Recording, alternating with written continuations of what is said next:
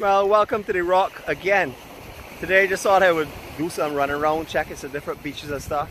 See if we can find somewhere nice and calm and peaceful and quiet. Uh, I just stopped through here just to see what it was like, but I absolutely did not expect to find this to be the place I'm going to spend my day today.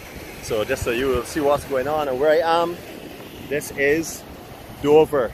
This is in St. Lawrence Gap. This beach is usually rammed with umbrellas and beach chairs at this time of the year especially. But as you can see right now, there's no one here, which is going to make it absolutely great for me. I can pick any tree I want, any shady spot I want. But there are a few workmen getting things ready for when you guys come back down. And uh, as you can see, it's still beautiful under perfect conditions today. So I know you're biting at the bullet to go and buy your ticket now, so let me not hold you up anymore. Have a great day all, and greetings from the rock one more time.